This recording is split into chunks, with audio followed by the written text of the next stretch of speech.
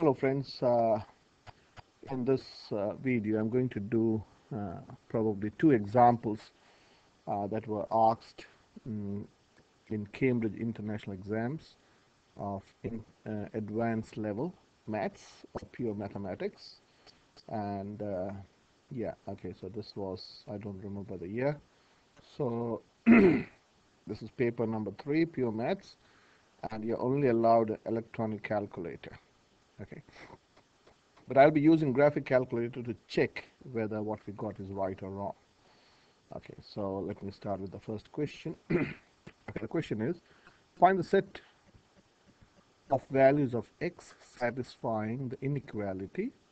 Modulus of 3 to the power x minus 8 is less than 0.5 giving three significant figures for your in your answers. Okay so now before uh, moving on excuse me to understand this let me give you an example before I start doing this example. Suppose you have a statement like this suppose modulus of x is less than 2 means whenever you have the word uh, whenever you have modulus uh, or absolute value both are one and the same you're asking the question which are the values of x uh, for which the distance from 0 is less than 2 so what do I mean? So let me draw a number line. Say this is your number line okay? And say this is your number line so this is your 0 so you're asking the question which are the x which are the values of x for which the distance from 0 is less than 2. So I will say, well, if 2, if you take 2 and negative 2 on this number line, this 2 is exact, this negative 2 is exactly 2 away from 0, and this 2 is also exactly 2 away from 0. So, but my question is, which are the values of x for which the distance from 0 is less than 2. So what I can say then they are those these values of x okay? So these values I mean the the red these values of x are for where for which your x value is less than 2 so this can be rewritten. This means x has to be less than 2 all values which are less than 2 uh, and and also x which is greater than negative 2. So this area can be described as or these numbers on the number line can be described as these numbers are less than eight, less than 2 and also greater than negative 2.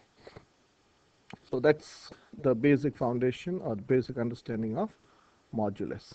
Okay. So now using the same approach, my, our question is modulus of 3 to the power x minus 8 is less than 0.5. So using the same approach, for which value would for which value of x is the modulus of this less than 0.5. So using the same approach, I can say 3 to the power x minus 8 if it is less than 0.5 and 3 to the power x minus 8 is greater than negative 0.5. Okay, I'll repeat this. Modulus of x is less than 2 means it is these values of x okay? Now these values of x are less than 2 and greater than negative 2 these values are greater than negative 2 and less than 2 so the same approach. Let me use a thinner pen. So what will happen now? So now to basically to solve this this 2 so I can say okay 3 to the power x is less than adding 8 to both sides will be 8 now, whenever you have, excuse me, the power as x, one of my teacher used to tell me, hit it with a log. So we have to take log on both sides. So I can say log of 3 to the power x. You can say also take also natural log, uh, log of 8.5. So applying the log rule, I can say x log 3 is less than log 8.5. Now dividing both sides by log 3, x is equal to log of 8.5 divided by log of 3. So x is equal to, let me get my calculator out. This is, though it's a graphic calculator, I'm using only as an electronic calculator. So I can go log 8.5 divided by log 3 which is 1 point. We have to answer in three significant figures. So it is 1.95. Okay. So that's in three significant figures 1.95. So x is, sorry, less than 1.95. Not equal to, let me delete this. It's less than. so x is less than 1.95. We will confirm this. So this is in 3 SF significant figures. So this is one answer. Okay, let us do the solve the other equation. So same approach. So 3 to the power x is greater than adding 8 to both sides, it will be 7.5. So, so you can say log of 3 to the power x is greater than log of 7.5. So x log 3 is greater than log of 7.5. So dividing both sides by log 3, so you can say x is greater than log of 7.5 divided by log of 3. Again, I'll have to use the calculator. x is greater than,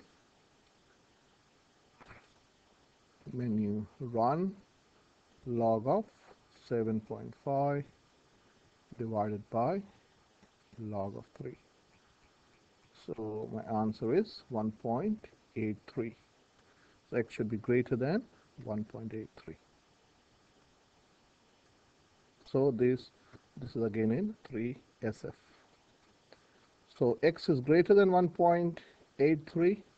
So let us write the answer together. So, you can say x is greater than uh, greater than 1.83 and less than 1.95. So all the values of x between 1.83 and 1.95 satisfies this equation.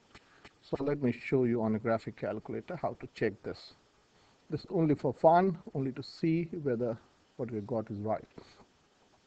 So you go option number this is absolute value of 3 to the power x um, minus 8 I think so uh, let us graph it okay so this is your graph so the question is when is this less than 0.5 so I'll go gsolve and go xcalc.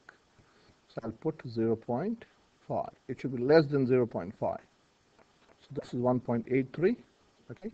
So it's 1 point the next value would be 1.95 so if you press scroll you get 1.95 so between these two uh, the values of x the we get the solution of the equation.